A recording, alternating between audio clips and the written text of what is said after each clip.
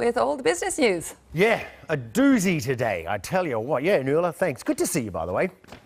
Okay, we're going to start with, you know, this trade war that's raging between the world's two largest economies, the US and China, of course, and relations were already tense. They're very tense. But Washington initiated, we know that, that tariff war in an attempt to protect US uh, companies' intellectual property. Well, I tell you what, tensions may now deteriorate even further after a Bloomberg report that data from US companies has been stolen via tiny chips planted by spies in Chinese tech products. Yeah, Bloomberg Businessweek cites more than a dozen sources that spies had embedded this malicious chips inside equipment used not only by American companies but multiple US government agencies. We know in Hong Kong trading, the computer maker Lenovo led the slide, closing down some 15%, while the equipment maker ZTE dropped uh, some 11%. The report has been denied by Apple and Amazon, both uh, cited as companies that have been subject uh, to these attacks. Stephanie Hare is an independent tech expert and joins us and a familiar face. Steph, good to see you. So, Hi.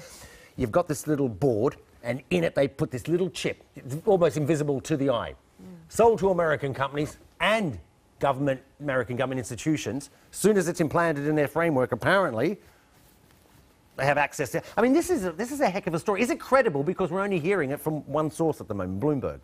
I think it is credible. Bloomberg is an excellent news outlet. It will have been fact checked and lawyered within an instant inst of its life, this report. It's taken a year for them to do that investigation. And as you say, they cite both insiders at Apple and Amazon, but also within the U.S. intelligence community. So But it's interesting. Why um, why haven't we heard from the intelligence community? Why haven't you know, we heard from the FBI or others? Or why is Amazon and Apple coming out and denying the whole thing? They haven't done well. It's not them that's planted. So uh, I- I'm confused about that. Well, this is an ongoing investigation that's been going on for three years and it's still happening. So I think that could ex- actually explain quite a lot Yeah. of what you've just said. And it's entirely possible we could be in a world where this Bloomberg report is accurate and Apple and Amazon are both genuinely saying this isn't what happened because we don't yet know. It may be what they think has happened at this time. Perhaps to the best of their knowledge, they've done their own internal investigations, and so far, they stand by their side and Bloomberg stands by its. And what's going to happen is, over the course of this investigation, we will hopefully get some resolution. So the question is, how do we do that, right? So we know um, the company that's the supplier of these servers, um, Supermicro, it's a US company, supplies lots of these motherboards, uh, which are being baked into all of these different servers around the world, right? Not It's an just the American United company, States. but it outsources to China for these motherboards, right? Exactly. So the, the motherboard is literally like a, it's almost like a cookie tray Yep. size piece of kit. And there's going to be all sorts of chips, some of which are really easy to see. And one, such as the one that's in question, is really, really tiny, right? Like the size of a sort of end of a sharpened pencil. Mm. Yeah. Probably a good way of thinking, or a grain of rice.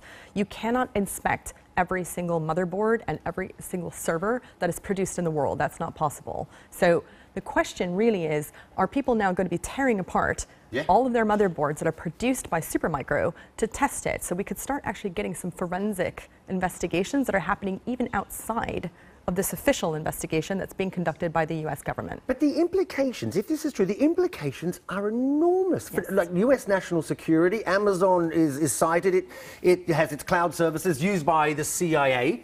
Um, so does it get to a point where, if this is true, every company or anybody through the US government goes, if you want to deal with us, nothing, nothing in your machines is going to come from China? I think what's almost more interesting is it's almost irrelevant now if it's true or not. It's that it's possible. Right. This story has illustrated the vulnerability within Silicon Valley's supply chain. Okay, so by getting all of the, the US manufacturing base, which the United States lost over the course of the 1980s and 90s, is now been outsourced to China. So the Made in China brand is now under question.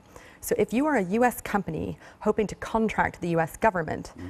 you might not be allowed to do that if China's anywhere in your supply chain. Now, that would require perhaps regulation from the US Congress. Mm. We need to see that. And one note of caution on that is we had a little bit of a preview of this movie back in January when you and I talked about Intel discovering sort of vulnerabilities in its hardware. Now, that had nothing to do with China, we think, but nothing happened with that. And that was a vulnerability that was in smartphones and PCs all over the world, right? So people are now having to look at the vulnerability of hardware, whereas previously we've been looking at software.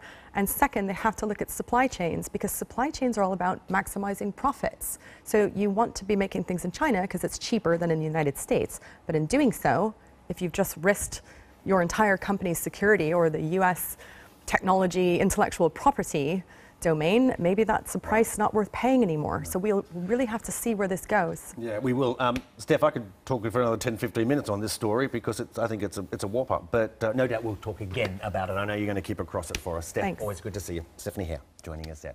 Hey, the number of people filing for unemployment benefits in the United States fell last week. It fell to its lowest level in almost 49 years. Good news, great news, of course, for President Trump. And we're going to get the latest jobs numbers, yeah, job creation in the next few hours when, of course, the US, uh, US releases those numbers. That's for the month of September. Samira Hussain has this one from New York. Economists don't believe that the pace of hiring will change all that much. On average, the U.S. economy has been adding about 196,000 jobs per month for the last several months. So, key will really be wage growth. Hourly wages went up in the last jobs report, and that's a really good thing. So, if Friday's report shows that wages have increased again, it will be a real sign that there is momentum in the economy and that it wasn't just a one off blip. The other thing that is going to be key is the labor participation. Now, although the unemployment rate remains low, people who had previously stopped looking for work haven't really gotten back into the game. So, economists will want to see a real meaningful change in the number of people that are actively looking for work. Okay, I'm going to bring you those numbers on my show in about an hour and 45 minutes. In the meantime, follow me on Twitter, please. You can get me at BBC Aaron. I'll see you soon. Nils, all back to you. Thanks very much, You're Aaron. Now stay with us on BBC World News. Still to come. She's been called the world's last great diva. We'll be speaking to the legendary opera singer Angela Gheorghiu.